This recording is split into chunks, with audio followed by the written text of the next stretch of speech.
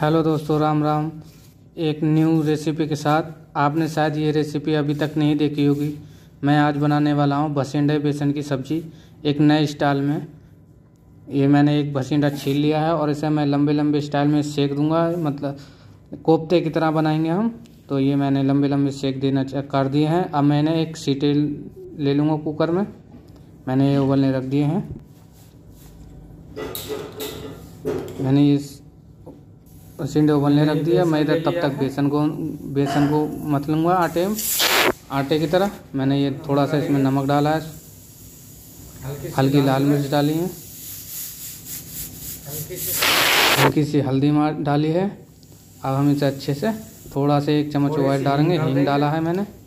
हल्का सा ऑयल लगाएँगे। एक चम्मच छोटा। और इसे हम अच्छे से मत लेंगे।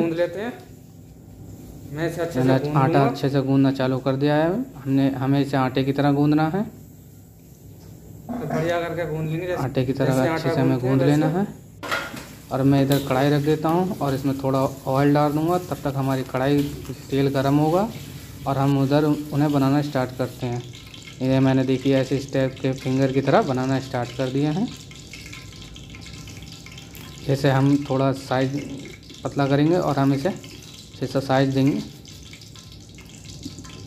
ठीक है इस तरीक़ा से हम सारे को हम मैंने सब ये बना बना के सीटी लेके रख लिए हैं।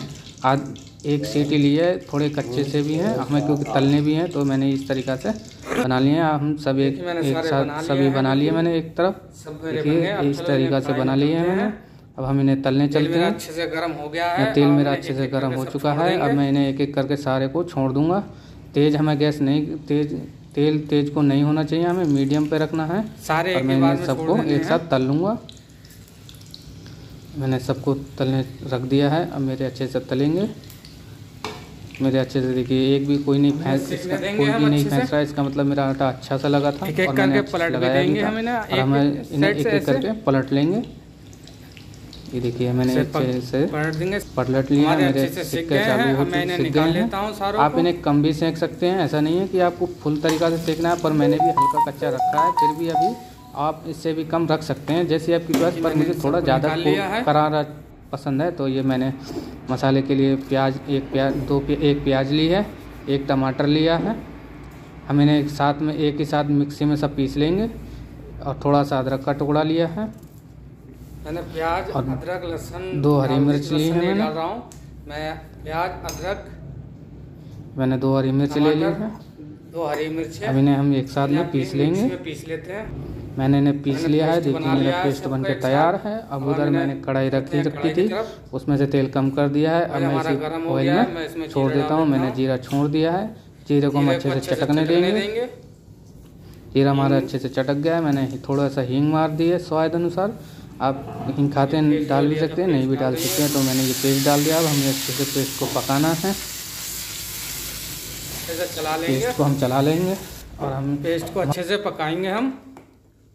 जब तक हमारा पेस्ट पक नहीं जाएगा अच्छे से।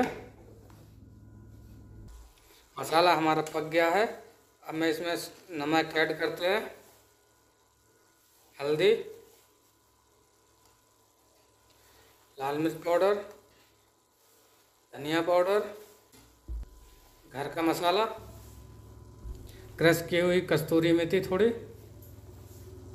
अच्छे से चला लेंगे हम।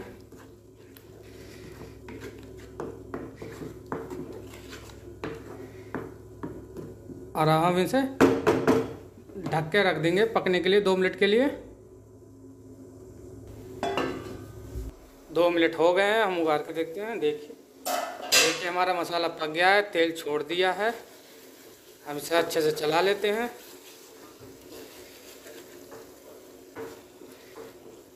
मसाला हमारा अच्छे से पक गया है। मैं इसमें थोड़ा गर्म पानी ऐड कर रहा हूँ।